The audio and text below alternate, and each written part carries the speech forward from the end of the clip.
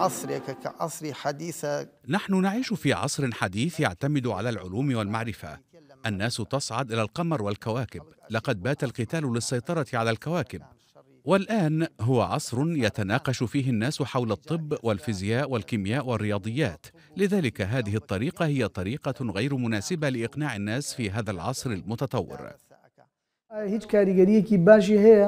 هل هناك نتائج إيجابية للضرب بالسيف؟ هل يفيد تمسك الناس بالدين في الدنيا والآخرة؟ هناك من يقول إننا نفعل ذلك لنشر الدعوة الإسلامية. ولكن للأسف في وجود هذه الأفعال المخيفة لن يدخل أحد إلى الدين.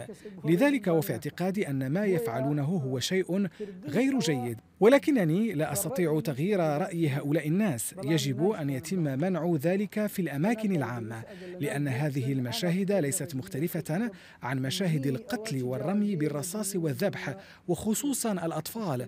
إن الأمور تختلط على الكثير عندما يتابع ذلك من بعيد.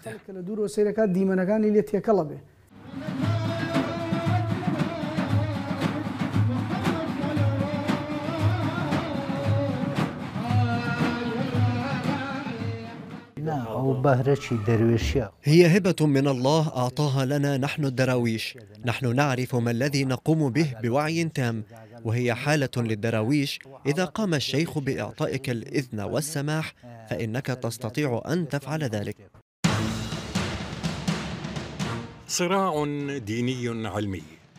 فهم يعتبرون أنفسهم خارجين عن المألوف. بينما يفسر آخرون هذه الممارسات أنها حالة نفسية لها ارتباط مع الوعي وفقدان الوعي.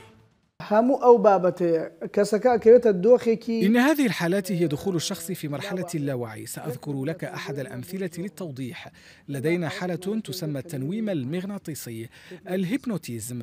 هناك دوران في هذه العملية. الأول هو الشخص المنوم أي أحدنا ينوم الشخص الآخر مغناطيسيا أي أنا المنوم وأقوم بتنويمك مغناطيسيا.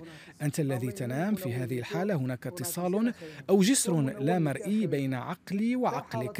تكون هناك توليفة واحدة بيننا حيث تفعل أنت كل ما أطلبه منك. وهذا ليس له علاقة بالدين فكل الممارسين في الباراسيكولوجيا يفعلون ذلك.